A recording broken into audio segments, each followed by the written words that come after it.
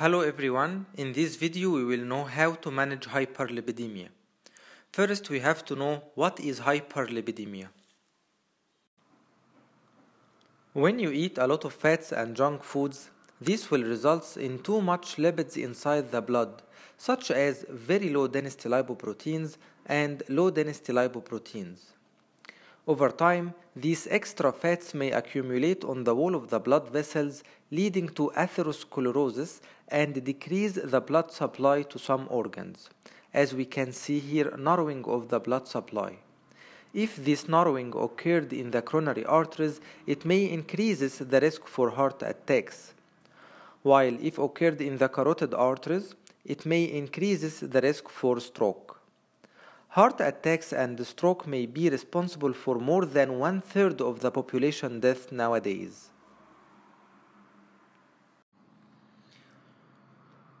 Okay, let's know what are lipids. Lipids are divided into cholesterol and triglycerides. Cholesterol is divided into low density lipoproteins known as bad cholesterol and high density lipoproteins HDL which known as good cholesterol. LDL is bad because it takes the lipid to the arteries leading to atherosclerosis and cardiovascular diseases. HDL is good cholesterol because it removes the lipid from the blood to the liver to be excreted. Now let's move to how to manage hyperlipidemia. First, diet regulation. The lifestyle modification including healthy eating, weight management, and regular physical activity can control the lipid levels in the blood.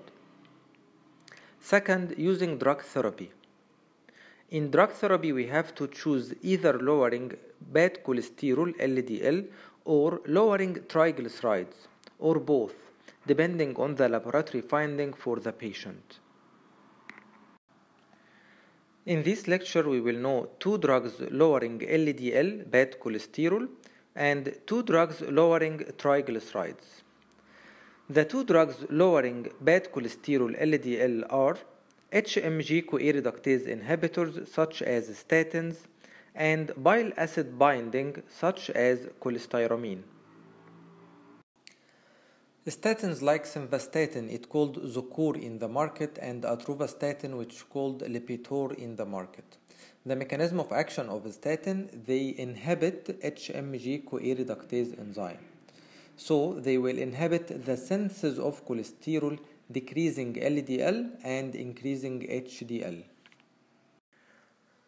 The adverse effect for statin are hepatotoxicity and myopathy. Myopathy means muscle weakness and also statins are contraindicated during pregnancy and lactation.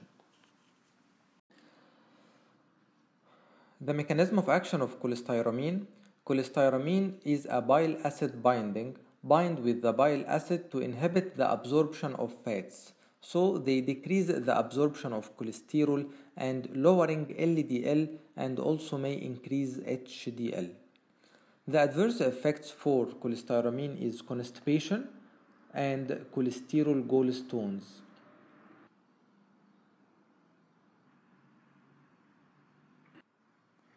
Statins and cholestyramine are the two drugs lowering the bad cholesterol or lowering LDL.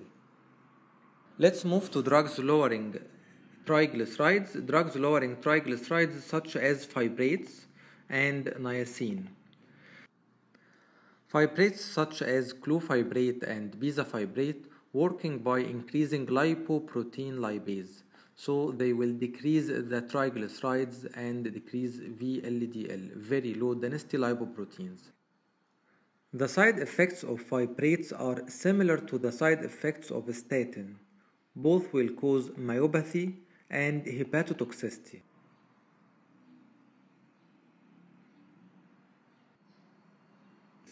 Also, fibrates may lead to GIT upset, gallstones, alopecia, skin rashes, and it is contraindicated during pregnancy and lactation. The second drugs lowering triglycerides is niacin, also known as nicotinic acid.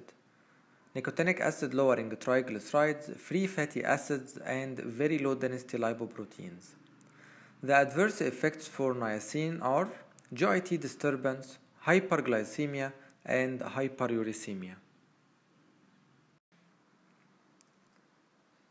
Now we finished drugs lowering cholesterol such as statins and bile acid binding, and drugs lowering triglycerides such as fibrates and niacin.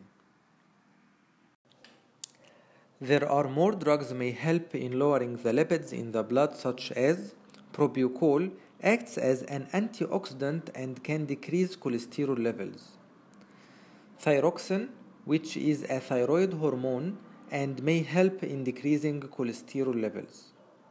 Estrogen, the female sex hormone, which decrease LDL levels in the blood. And omega 3, fish oil, also help in lowering triglyceride levels and increasing high density lipoproteins.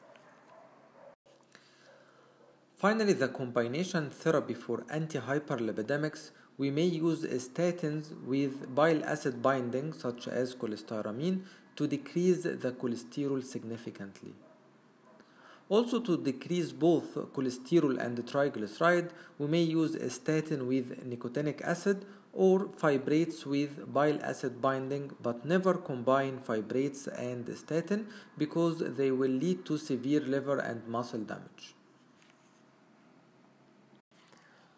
Types of hyperlipidemia as we said in the beginning of the video uh, hyperlipidemia may be classified into elevation of cholesterol only or uh, elevation in triglycerides only or uh, elevation in both cholesterol and triglycerides.